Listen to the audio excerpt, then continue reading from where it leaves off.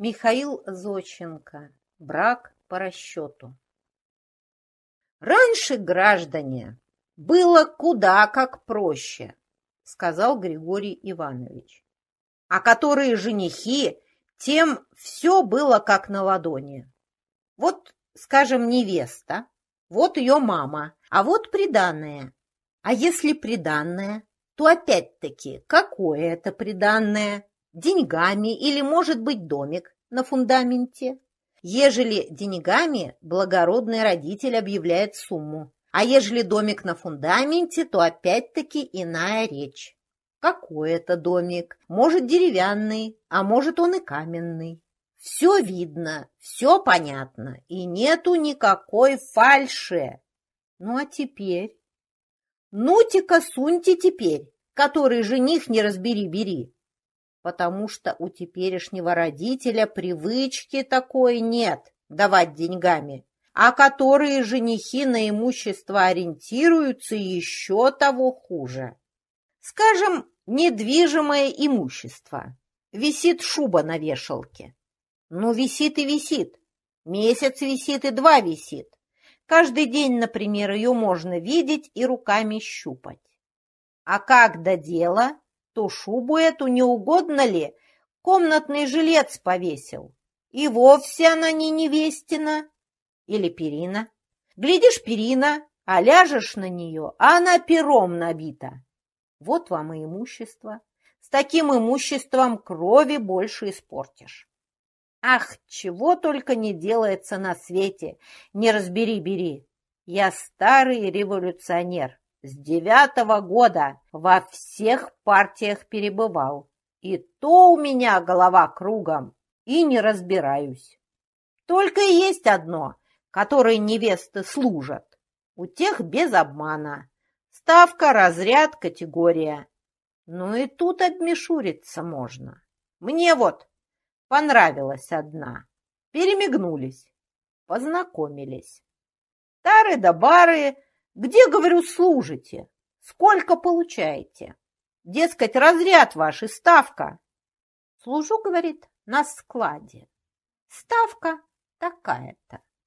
Ну, говорю, мерси, отлично. Вы, говорю, мне нравитесь. И разряд ваш симпатичный, и ставка. Ничего себе. Будем знакомы. Стали мы с ней кинематографы посещать. Плачу я.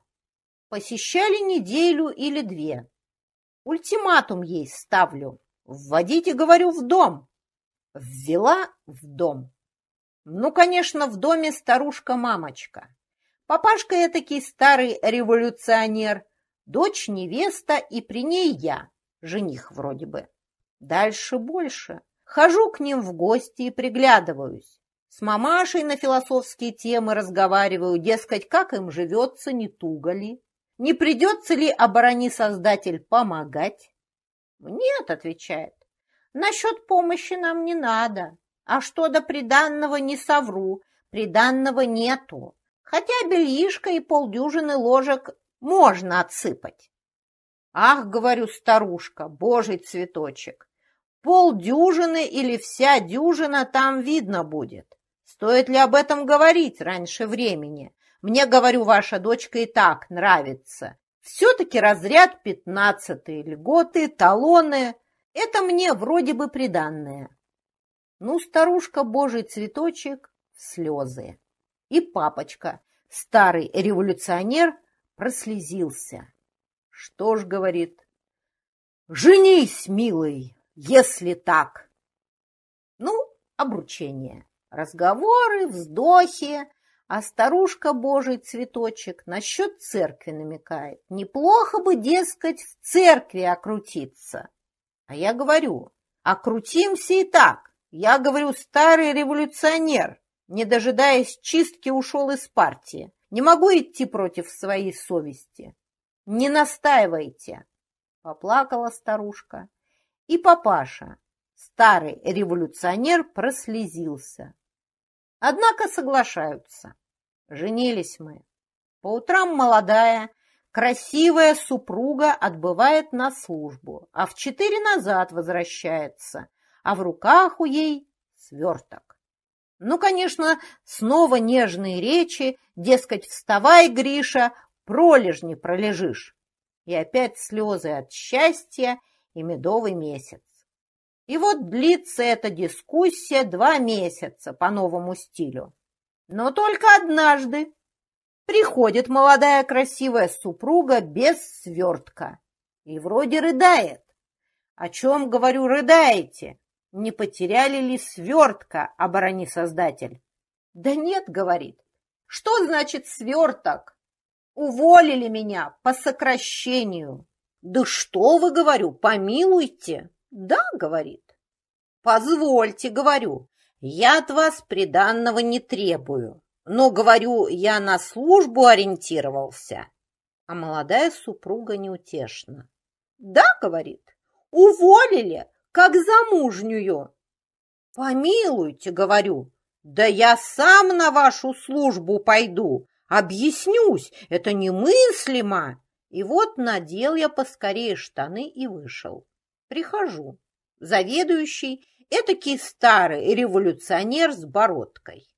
Я ему под лицу объясняю всю подноготную, а он уперся и говорит, ничего не знаю. Я ему про приданное, а он говорит, в семейные дела не касаюсь. Я говорю, я тоже старый революционер с пятого года а он из помещения просит честью. Попрощался с ним и домой. Прихожу. Супруга сидит и не плачет. Что же, говорю, плакать перестали? Я, говорю, на вас женился, а вы сокращаетесь? Беру ее за руку и идем к мамаше. Спасибо, говорю, за одолжение. Думаете, дюжину ложек дали и баста? Ну, старушка, божий цветочек, слезы. И папаша, старый революционер, прослезился. Все, говорит, от Бога. Может, говорит, и так проживете. Хотел я папашке за это по роже съездить. Да воздержался. Еще, думаю, в суд стерва подаст. Плюнул я другу в жилетку и вышел. А теперь я развелся и ищу невесту. 1923 год.